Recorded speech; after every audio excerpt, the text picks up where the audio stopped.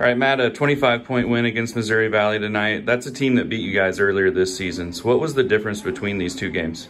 Uh, you know, I feel like we've had an identity shift. You know, we've preached everyone has to be aggressive, everyone has to try and score. You know, we're a deep team and we really want to utilize that. So, as the game wars on, we just uh, wear people down and just keep fighting. And that's what we kind of were missing in the earlier games.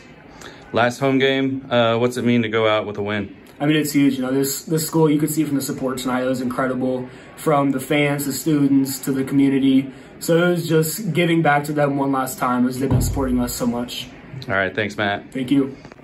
All right, Coach, a 25 point win against Missouri Valley tonight. Uh, what do you think it was that gave your team control over that game early?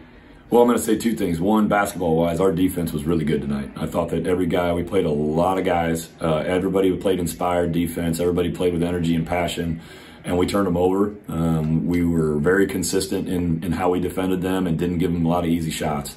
And secondly, the crowd. Crowd was insane. And uh, I mean, our, our students were in the building, our band was in the building, our cheer team was in the building, our fans from town were in the building.